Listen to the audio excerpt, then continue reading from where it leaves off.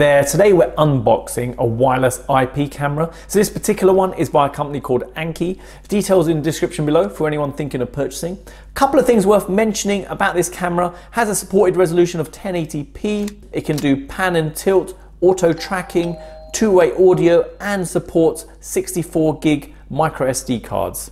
So let's take a quick look around the packaging. So it comes nicely packaged with some branding there. HD Smart Wireless PT camera. Get a sweeping view of your house with a smooth pan and tilt IPC. Okay, HD in the corner coming around here. So HD video, plug and play, peer-to-peer -peer remote access, two-way audio, smooth pan and tilt. Okay, nothing on there, come around here gives you an idea of the app that you have to install. So My Annke and what's in the box. And coming around here and nothing much else. So, okay, so let's open it up and see what you get in the packaging.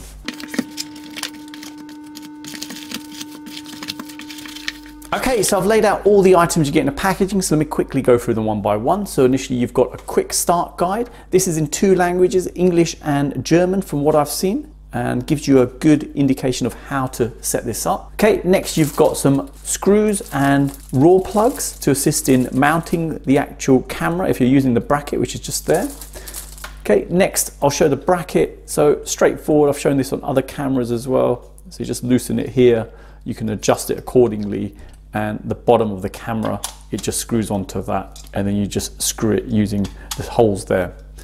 Okay, next you've got power brick, and if I come in close you can see output is 5 volts 1.2 amps. Okay ethernet cable with it nice flat cable with this. And the length of this is just around a meter. And build quality is very good on there.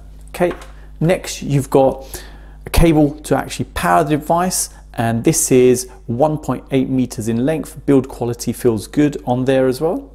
Okay and finally the actual camera itself so, bit of a different design to this, bit chunky at the bottom and obviously motorized so this can move and the directions you've got on there.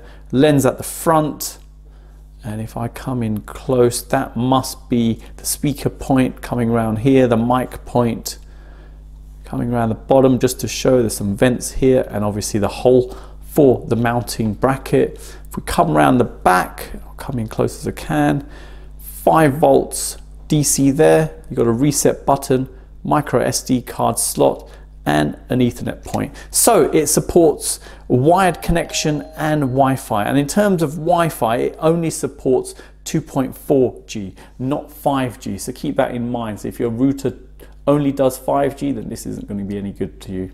So build quality wise, feels okay, plasticky and glossy white around most of the actual camera, rubber feet at the bottom, like with most, most cameras, and if I move it, obviously it stays firmly secured to the table. So not too bad in terms of build quality.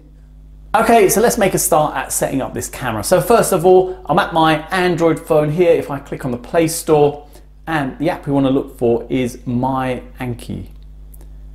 It's that one there. And let me click install. Let's give it a moment to install. Okay, so now it's installed. Let's click open. Okay, it needs access to take pictures and record video. Let's allow that.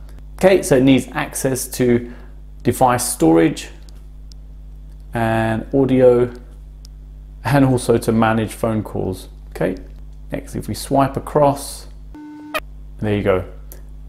Just start it. Okay, so we click there and now we have to register an account. So let me do that off camera. Okay, so I've registered my account, so let me click sign in. Let's give it a moment. And there you go, that's what you're initially presented with. So click on the upper left corner, add a device. Okay to that. Okay, so it's saying the device list is empty, so let's click on the plus in the corner. Select the device, so it's PTZ. Let's go for that one and this is what we're now presented with. We need to scan in a QR code. So the QR code's just underneath the camera. So let me do that off camera. Okay, so this is what we're initially presented with. Let me click add. Okay, network connection method. Let's go for Wi-Fi. Okay, the device is offline and we need to power it up. Okay, so let's plug in the actual camera. So the micro USB end on the cable here plugs into the back of the camera like so. And then the other end, the USB end, just plugs into the power brick. And nice that it's a USB to micro USB cable, so easily replaceable. Okay, now that's plugged in and just need to wait for it to initialize. There you go, sound of a water drop. So as soon as we've heard that, we know it's booted up correctly. So let's click next. Okay, as shown, press the reset button and release it in one second. You will hear a voice prompt. Okay, so on the back here, reset button, I'll just hold on to that. Waiting for receiving the wireless config information. There you go. Okay, heard the voice, so let's click there. Next, it's asking for my Wi-Fi password. So let me enter that in off camera. Okay, so I've entered in my Wi-Fi password. Let's click next. Okay, the phone's emitted. Um, okay, so the phone's emitted uh, an audio signal to allow the camera to configure. It's connected now, which is quite impressive. So quite a cool way of configuring a camera. So now we're presented with a dialog which is asking to set a password on the camera. So this is good for security. You hear in the media a lot of times that cameras are configured and people don't change passwords. So this is a good way of setting a password straight away when you're setting one up.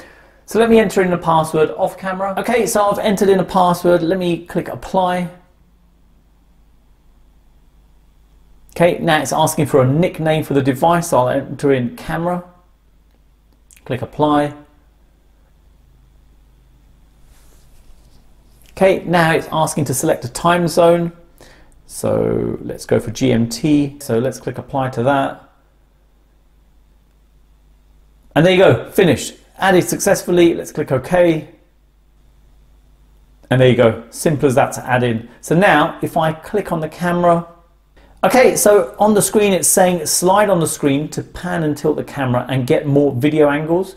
Zoom in to check more details. So let's click OK and let's try turning it. There you go. Responsiveness is good. Let's try adjusting. Okay, and can it zoom? Okay, so not too bad. A digital zoom, obviously that's why the clarity is not that great. Okay, it's saying it's 1080p on there.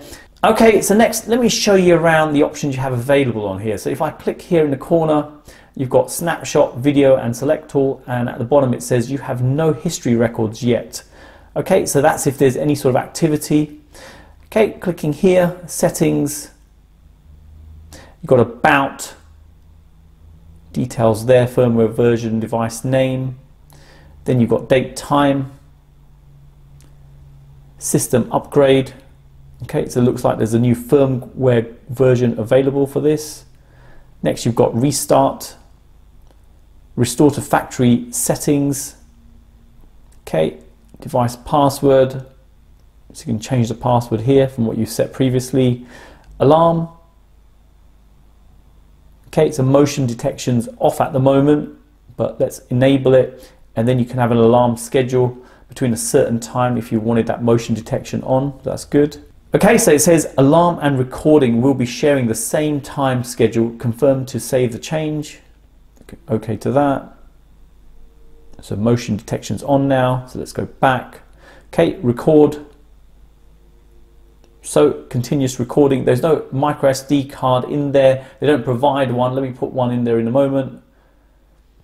Okay, coming down, SD card. Okay, so it's saying no SD card detected. Memo.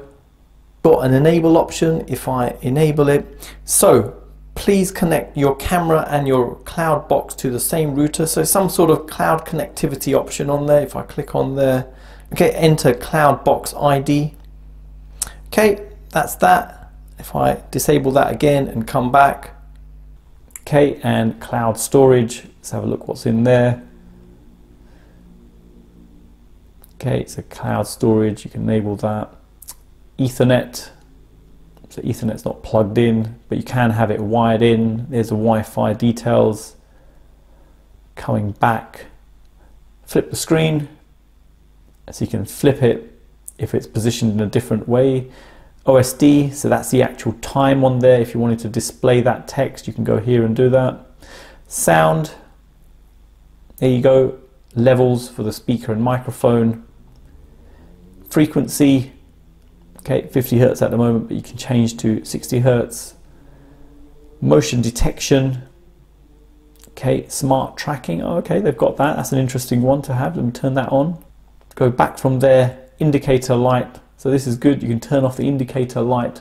And that's it. Below there, you've just got remove the device. So let's click up here, show what that shows. Okay, so it shows it in a different format and you can go into a grid format if you wanted. Let's go back. Okay, looking just below that, you can actually see the transfer rate. So looking here, 4362 kilobytes.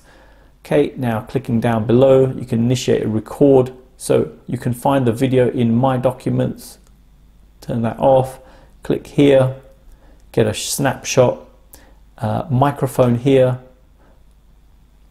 test one, two, three.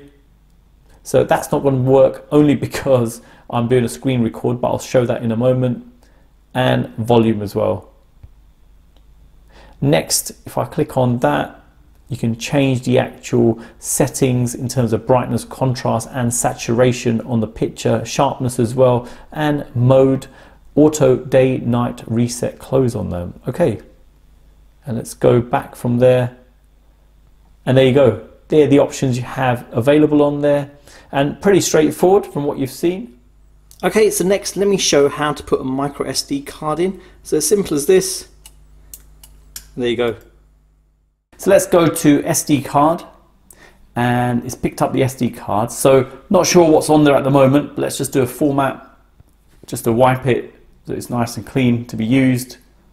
Okay, successfully done. Just do a save and go back and that's it. Ready to go, simple as that to set up and use. Okay, so for the next test, what I'm gonna do, I'm gonna drop down here, turn off my Wi-Fi, come back on, and let's see if it connects in. So 4G, let me turn on my data, should see 4G appear, there you go. And now if I click on camera, there you go. Okay, and if I turn it, there you go. And let me control it from here. Current time zone does not match the time zone, okay? But there you go, responsiveness is good over data. So nothing to do on your router, just works straight away out of the box and you can remotely connect to it and view the picture quality. Okay, clicking on here, interestingly enough, you've got 1080p, then you've got standard definition. If I go on there and then, okay, and next click on standard definition, click on smooth. And finally on auto, let's go back to HD. So different quality settings there and that's to reduce the quality in case I guess you're having problems in streaming the video so you can reduce it down just to get a smoother picture on there. So good to know you've got that facility as well. Okay, so next I'm going to demonstrate motion detection in action. So once it's turned on and there's motion detected, there you go. That's how a push notification comes to your phone. And if you click here, it actually grabs snapshot videos of what's happened. So you can just play back, give it a moment, and there you go. So it does a slight pre-record as well, which is quite useful, so you don't really miss anything. So that's really good in that way. And if I come out and now hand over it, there you go, motion detection still works. So really impressive and impressed at how quickly it comes as well.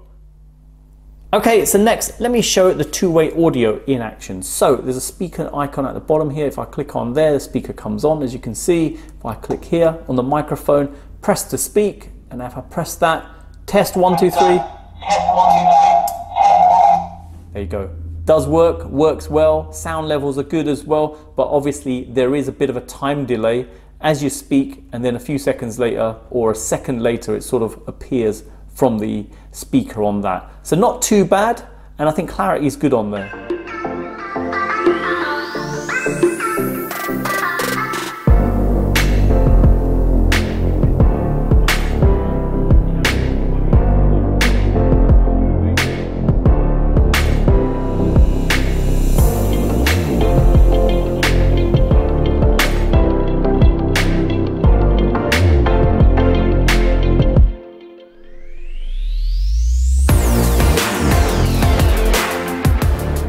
Okay, so you've seen the unboxing and setup of this IP camera. Very simple to set up and configure. In terms of usability, you can remotely connect to it without opening any ports on your router.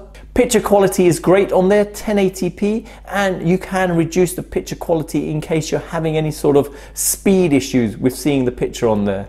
I like the fact it's got motion tracking on there, and this allows the camera to actually follow any sort of detected movement and track it in the background. So there you go. Hope it's helped anyone thinking of purchasing this. Detailed in the description below. Thanks for viewing and don't forget to like, comment and subscribe.